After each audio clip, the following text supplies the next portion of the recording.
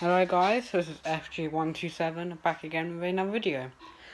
Right now you are looking at my dog Rosie, just for a distraction for a minute.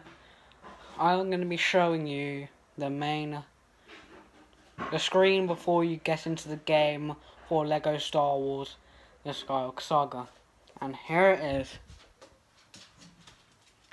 Now, it's load of characters piled up on each other and as you can expect all the characters what you've seen in the trailer are here. They might not be in their different clothing attires.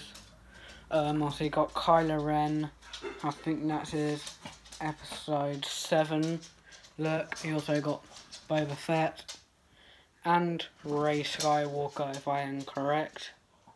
You can't really see a clean image of it. But I have one more question for you guys. When do you think the release date of this game is coming out?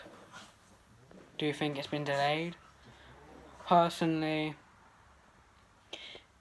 this is only a tease, so this might not be it, but um, I am pretty sure it might come out this year.